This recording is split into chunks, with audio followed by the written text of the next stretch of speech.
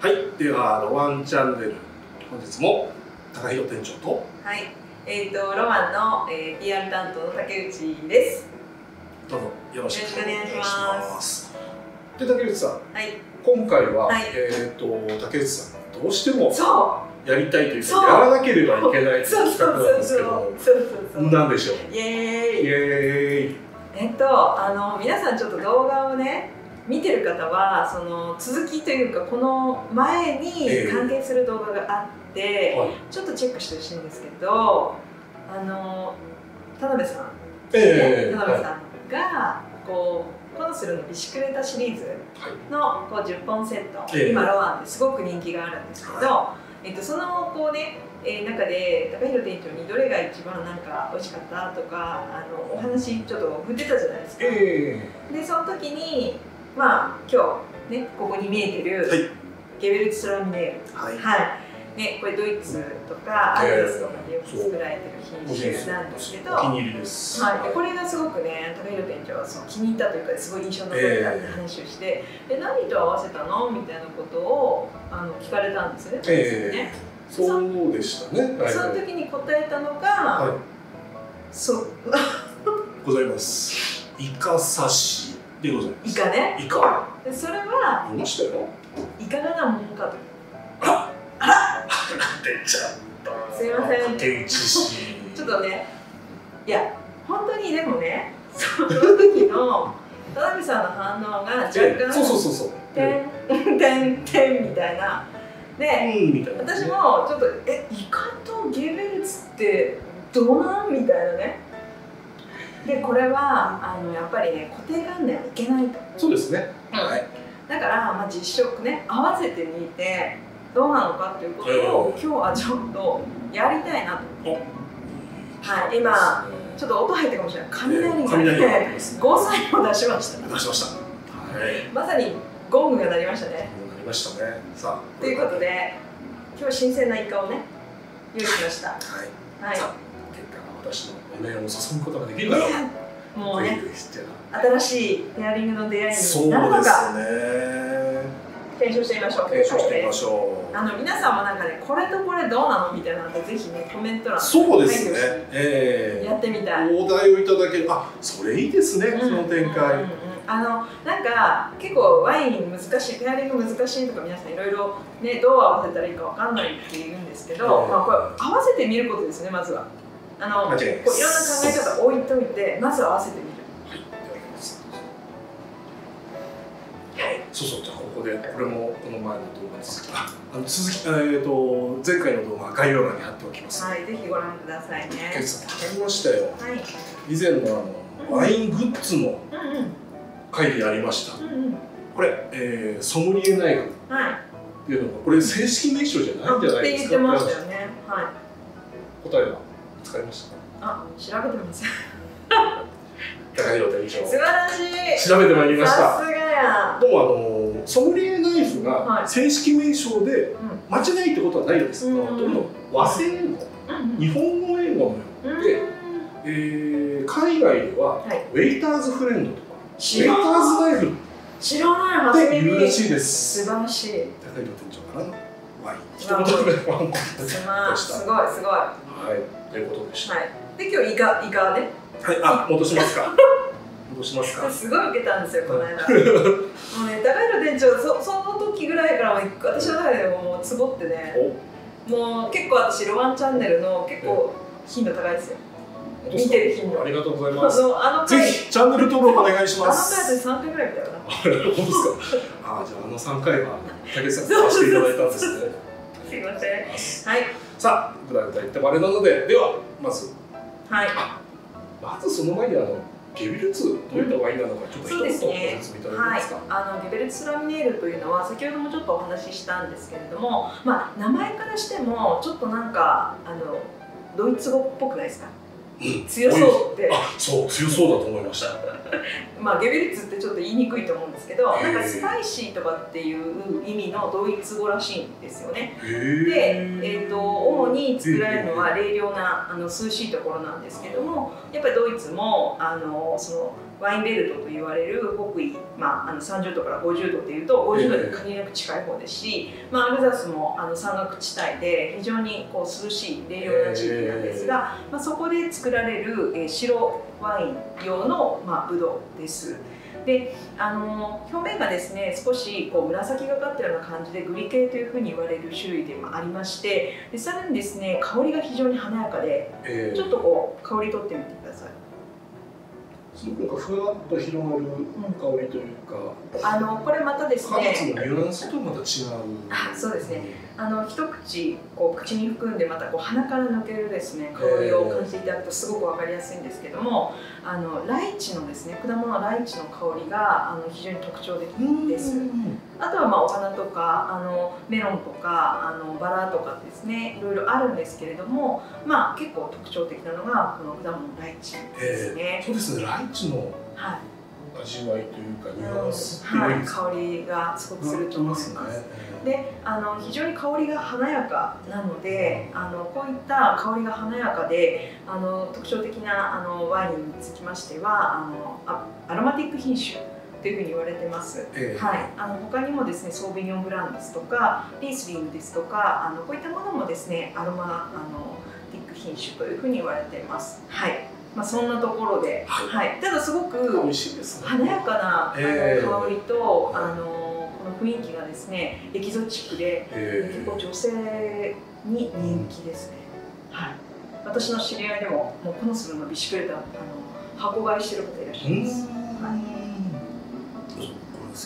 い、色合いもなんかこうあ、うん、あの淡いそうですね。あのまあ、あのコノスルはチリのワインメーカーですけども当然チリもですねあの冷涼な地域はあのありますし、あむしろですねあの海からのあの冷涼な風もありますのであのコノスルのこのゲルベルツラミネールというのも非常にこの色合いはあの比較的淡いですけれども、まあ、あの少しヨーロッパとニューワールドっていうのは違いがあるかもしれません。なるほど。はい。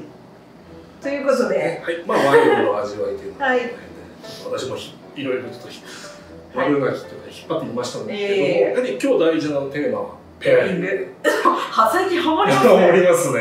最近気が合ってきた。はい、早速。はい、行ってみましょう。まずは通常に食べる食べ方でいきましょうね。そうですね。はい。はい、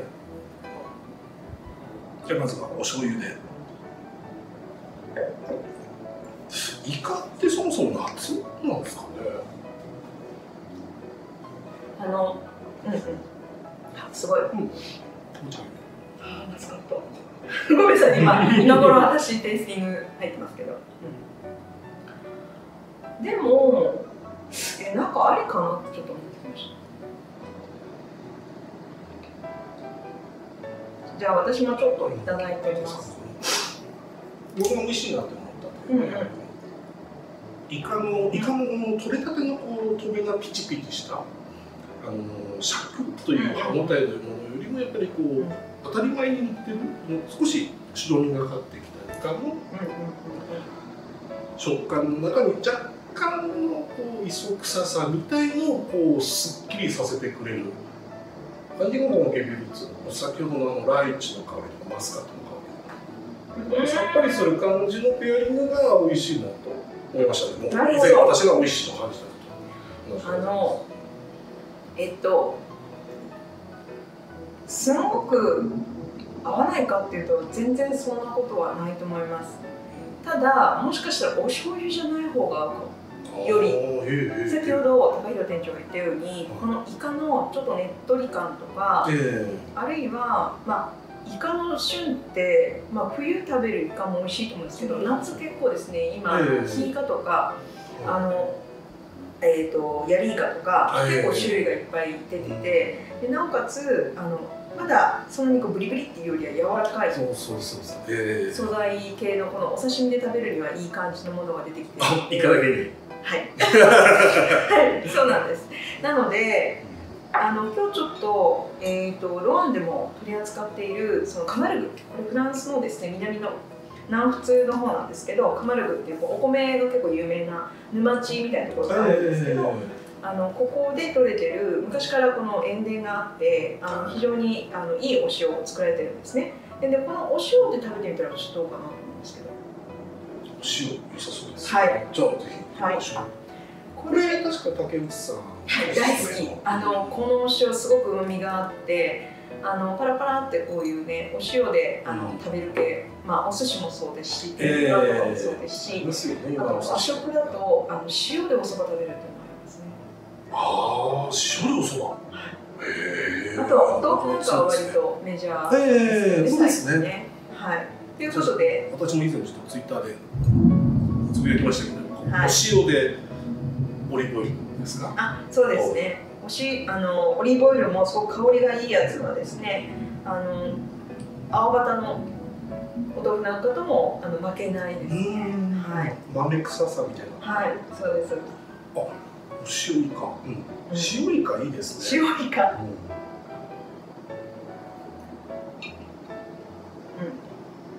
うん。うん。イカがうまい。あ、どうでしょう。うん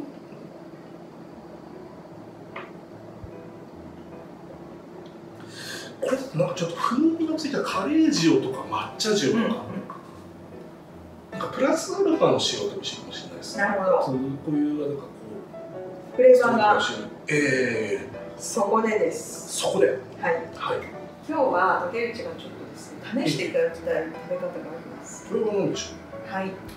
これはレモンと、はい。はい。えーとスイートチリ。最近出てこない。スイートチリソース。スイートチリソース。合ってますね。はいええレモンはでも絶対あります。あのスイートチリですか？はい、あの当然そのゲベルツの柑橘系のお味っていうのはあの、ええ島田さんが美味しいそれもありますし、あとこのエキゾチックなニュアンスがこのチリソースとか、ええー、とやっぱりこうあの南国のですねしかもこう亜熱帯系のあのアジアン料理系にすごく実は合うんですよ。えなので、ええまあ、ええイカちゃんのですね、はい。このちょっとねっとり感もありつつ、ええ。ちょっとエスニック風にアレンジしてみたらどうかなとなるいうこと。これは初めての。ちょっと私も初めてなんですけど、これレモンは絞った方がいい。はい、軽く、軽く。はい、あのスイートチリソースも、はい、あの甘さがあるんですけど、ええ。はい、どうかなと思っでは改めてて、はい、実食。はい。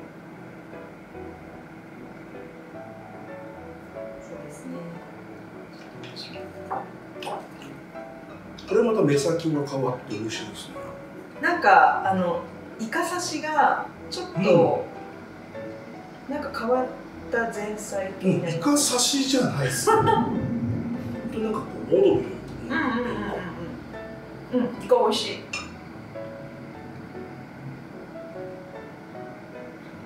あ、なんかこうわかります？スイートチリの感じを食べた後だとこうライチの香りというかマス、マスブドウなんですかね。それがマスカッ増幅されるよな。結構マスカットこれ強いですね。ライチもあるんですけど、あの割とマスカット強いかもしれない。うん。ペアリングしてみるとマスカットの方が強いですね。ワイン単体だあとそう、あライチのの香りって出てきますけど。同じイカでもええこう組み合わせるっていうかね味付けというか調味料によってワインのどこの面がこう出てくるかって変わりますよね。うん。なんか。結構酸酸がこう感じたりとか。ええさっきの華やかさが先にこう感じたりとか丸さとか甘さとか、はい、ええなんかそういうのがやっぱり変わってくるのですごくあのまあなのでこうやっぱりいろいろ合わせてみて、ええまあ好みもありますしあとその時の気温感によっても美味しさって変わるので、えまあ、その合わせる食材というのもいろいろ皆さんチャレンジしていただくというえそうですね。ええ僕このスイートチリがもしかしたら醤油よりも好きかもしれない。好きですね。うん。本ありますあります。当で、うまあ、これちょっと、まあ、ムシムシして、まあ、梅雨も明けましたけれどまだまだこれからもう暑い季節には、ええやっぱりちょっぴりスパイシーな。お料理が合うと思いますので、まあ、王道のペアリングとして私が今日食べる店長にあおすすめしたい。その？前に？はい、イカと？ゲビルツは？合うか合わないか。えーっと合わせ方次第なるでイカ素材自体はまあまあいけんじゃないかなと思います。ほど。そんなに外してなかったですね。うんうんうんうんうんうん。あなのであの高弘店長の面白いところを引き出したかったっていうこなるほどとかもしれないです。はい。ね。楽しんでいただけましたでしょうか、ということで、はい、じゃあ高平店長にちょっとね今日これをね、レベル値に合わせていただきたかったんです、これは？エスニックカレあーこれさっきから美味しそうなーどうやって渡したらいい？こうですね。はい。あできました。と高平店長のみんなに前に持ってくシリーズ。よいしょ。はい。ダーッしてはい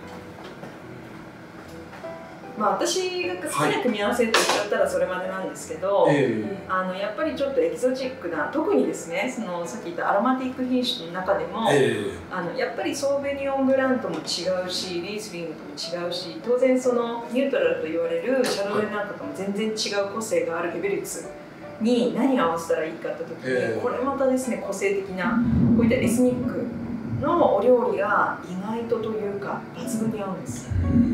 で今日、えー、と3種のカレーがありまして、はい。えっ、と一番このあこちらですね。はい手前のこれがあの、えーバターチキンカレーですね。はい。まあどっちかっていうとここはエスニックでもあのえっ、とインド系のカレーですね、はい。割と濃厚です。で真ん中はグリーンカレーですねタイのえでこれココナッツが入ってまして、まあ、やっぱり一番そのあたりがあるんじゃないかな。で一番向こう側がこれがプーパッパ。プーパッポンカレー。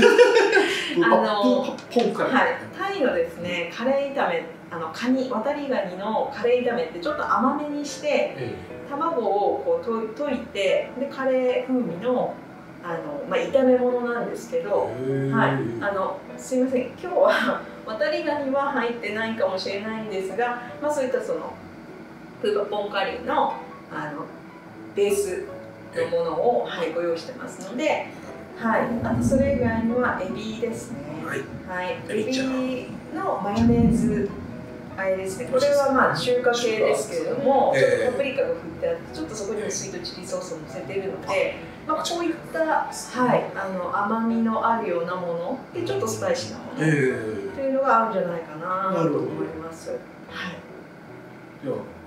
ぜひぜひ。合わせてはい、でライスとこうね、えあの混ぜ混ぜしてもいいですし、まずそのままあのカレーと合わせていただいてもいいかな。かわいい。今日は歩いて帰りますなんかこういう感じだと夏向きじゃないですか？うんですね。えでやっぱり私の中えで、爽やか。そうあのアロマティック品種というのは夏にこそ飲んでほしい感じですよね。うん。あなんかこうさっぱり飲めるニュートラル品種よりもアロマティック品種の方がうんうん。本がってことはないでしょうね、はい。あのおすすめなんーですね。まあ、ニュートラルって言われるその代表格のシャルドネはあの本当にその産地にもよったりあと作り手のそのワインを目指すスタイルによっても、え樽を使ったり使わなかったりとかあといろいろその個性がそのテロワールというような地域の個性に反映されるのであのまあいつの時期っていうことだけでなくあのいろんな飲み方あるんですけどやっぱりアロマティック品種というのはまずこの香りとかワインの個性として出やすいので、まあ、それをこう単体で楽しむっていうところであの料理と合わせることもいいんですけど、まあ、そのまま飲んでいただくのも楽しいですね、えでそうするとやっぱりちょっとワインあの暖かい時期もいいですあの寒い時期もいいんですけど今みたいな時期にちょっと冷やしめにして白ワインなんかを楽しんでいただくのにすごくバリエーションがあって面白い。かなるほど。キリッと冷やしてはい飲むのがそうですね。そうですねってる間に私プーパンポンカレー。プーパッポンカレーとグはい。リーンカレーをいただいた後にはい。いただきましたけど、なんでしょうねこう印象としてはあのすごいフルーツの香りライチの香りですとかうん。が強いのであのエスニックみたいなスパイスの効いたうんうん。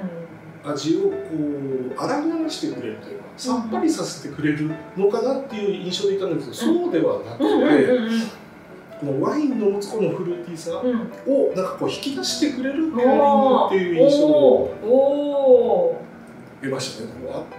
余韻余韻？なんかこなんか言いたいですけど出てこないですけどう楽しくなるっていうか。楽しくなる。そうですそうです。ワインが楽しくなる。そうそうそうそう。えあのねなんていうのかな。この華やかさがより華やかになってええ。ちょっとこう旅行した気分になりません？えなんか海外行ったっぽい感じになりません？確かにでも日本あごめんなさい食べるのにちょっとなんでしょう。目を閉じるとっていうやつですかね、なんかこう違う風景が浮かんでくるというか、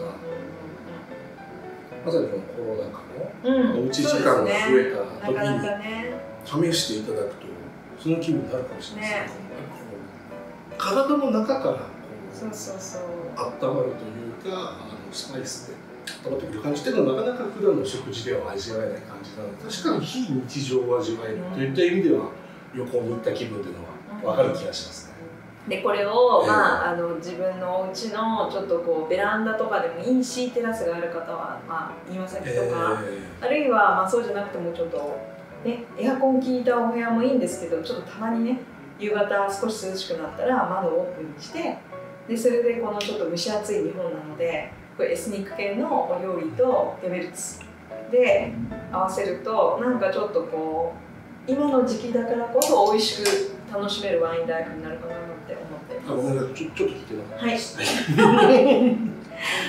えーあ合います？大丈夫ですか？大丈夫ですかってやつい大丈夫です。つもね心配になるんですよ。自分の味覚大丈夫かなわかりますね。間違いないペアリングですね。まあちょっとね、こういうエスニック系が苦手だっていう方も、ええ。まあ、いらっしゃらないことはないんですけどあのちょっと甘辛い系は結構ギベレツいい感じで受け止めてくれるんじゃないかな。うん。でしかも確かに。あのチリとかの、えー、とゲベレツの方が私はいいかなと思います。あのちょっとアルザスのゲベレツええ。とまたちょっとニュアンスというか雰囲気が違ったりするので、はい、ニューワールドのゲベルツを合わせられると、特にエスニックはいいんじゃないかなと思います。なるほはい。ど。エ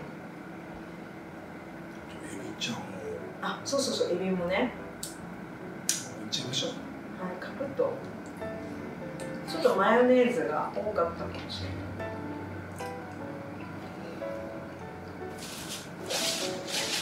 やっぱりイカにしてもそうなんですけど、あ海鮮とのあのね、結構うまみというか、えあのお肉とは違うこのコクみっていうか、あのイカもエビもまあまあそういう意味ではこう旨味が強いじゃないですか。えうん、ええそういうのともゲベルツは合うんだと思います。